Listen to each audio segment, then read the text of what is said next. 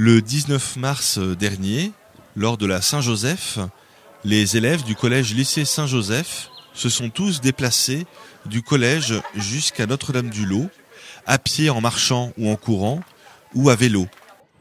Et après, c'était jusqu'à Rabot, là où j'ai mis le ravitaillement. vous voyez, ça descendait un peu, c'était relativement plat, on était vraiment dedans. Cette journée a été voulue pour marquer d'une manière particulière la fête du saint patron du collège. Cette journée a été préparée de longue date. L'idée a germé lors euh, d'un conseil euh, pastoral au collège pour trouver une manière de marquer cette occasion. En outre, il y avait l'idée aussi de soutenir une école à Madagascar par cette action, entre autres la vente des t-shirts de cette journée. Les élèves sont donc partis par classe et par euh, activité. Et quand ils arrivaient sur place, après 12 km, ils avaient une collation qui les attendait sur euh, le site. Et ensuite, ils étaient invités par groupe à aller voir une présentation du sanctuaire Notre-Dame-du-Lot de qui est Benoît. Alors, le prochain groupe qui euh, suit M. Siran maintenant, à ma gauche, là, tout de suite, ça va être finalement les coureurs. Les coureurs, hop, on se dépêche. Par groupe, ils vont donc euh, regarder cette euh, vidéo de présentation. Lors de cette vidéo, sous la terrasse du restaurant, une sœur était présente pour, pour leur expliquer, pour qu'elle puisse échanger avec eux.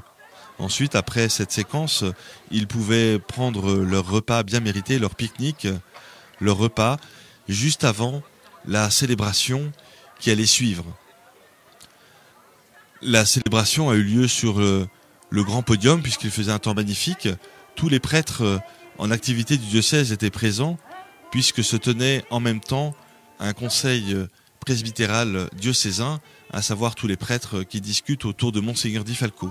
Cette célébration se voulait courte et joyeuse, ce n'était pas une Eucharistie, mais une liturgie de la parole pour que chacun trouve sa place dans cette célébration, qu'il soit croyant ou non croyant, pratiquant ou non.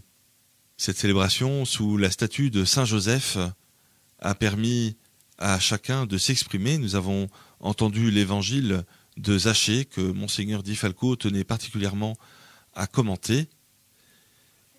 Des intentions de prière ont été données. Les musiciens étaient présents pour euh, des chants de louanges assez joyeux et modernes qui permettaient de soutenir l'attention et donner un caractère festif à cette célébration. Ensuite, après un autre père et une bénédiction solennelle de l'évêque, chacun a pu repartir en bus chez lui jusqu'au collège. Et cette journée était donc particulièrement réussie par le beau temps. Et c'est l'occasion ici de remercier tous ceux qui ont œuvré pour cette journée. Remercier Monseigneur, remercier le sanctuaire Notre-Dame-du-Lot, les musiciens et tous les professeurs et parents d'élèves qui ont marché, ont aidé à préparer cette journée et en faire une réussite. Au revoir.